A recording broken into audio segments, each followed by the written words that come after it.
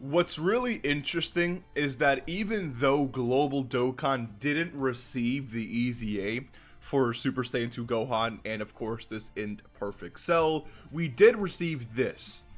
If you go over to the game, you will see the Growth Challenge campaign where it asks you to basically EZA an int character as well as EZA an AGL character. I was streaming trying to complete some missions and I was like, why in the world? Are they asking us to EZA an int character specifically? And then someone in chat made me realize that this campaign here is actually for the AGL Gohan um, and int cell EZA. So there's definitely two possibilities here. Either they leave these missions on global, release an int EZA in the near future, and we can go ahead and complete these missions, you know, uh, I guess that way. Or this is basically telling us that within the next, you know, 53 days, we can expect the EZA for Gohan and Cell to be dropping on the global. And so, if you go over here, I typed in 53 days from now. It says Friday, March 17th, 2023, literally the day before Saiyan Day.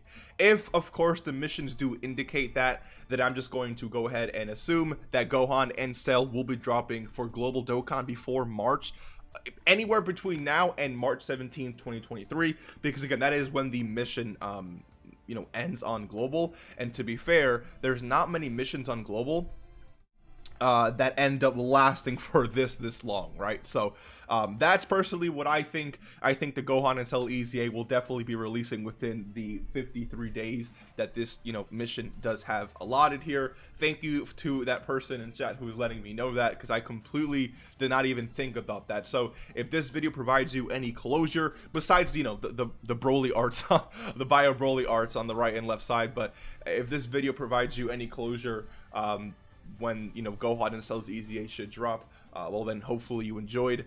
Uh, hopefully you consider liking the video, maybe even subscribing if you are new, because we are on the road to 1 billion subs before the end of the year. But let's see though, you know, maybe they do end up extending this mission if they want to release those EZAs a little bit later. We'll have to see how that works. But it's definitely clear that this mission growth can challenge campaign thing is definitely meant for Gohan and Cell because it has the int as well as the AGL missions, and it also dropped on JP, and you can complete these missions by EZAing both Gohan and Cell. And there is no, sorry, yeah, Gohan and Cell, and there is no int EZA that dropped recently on Global to complete these missions, right? So that's why I was super confused. Hopefully you enjoyed a really, really quick video today, and I will see you in the next one. Take care, and peace.